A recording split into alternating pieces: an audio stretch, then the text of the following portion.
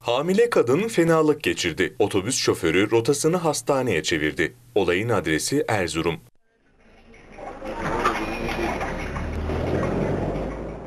Erzurum'da bir halk otobüsü normal seyrinde yolcu taşıyordu. Atatürk Üniversitesi kampüsünde bir kadın ve çocuk bindi otobüse. Oturacak yer yoktu. Bir süre ayakta gitti.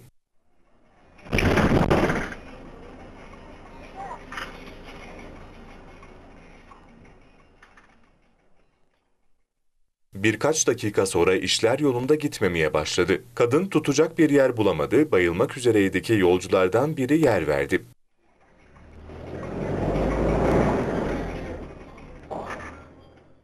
Yolcular kadına suyla müdahale etti ancak hamile kadın kendine gelemedi. Bu falan verdi ilgilendi sağ olsun. Ee, akabinde işte hamile falan dedi. Ben de tabii panikledim.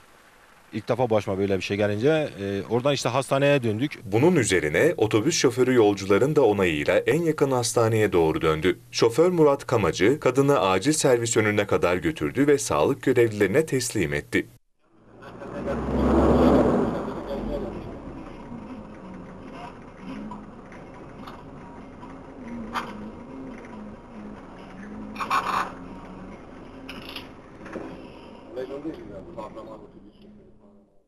Hastanenin önünde eşini gördüm. Eşi geldi falan. İyi dedi durumu. Hamilelikle alakalıymış zannedersem. Bir de havasızlıkla alakalı bir fenalık geçirmiş.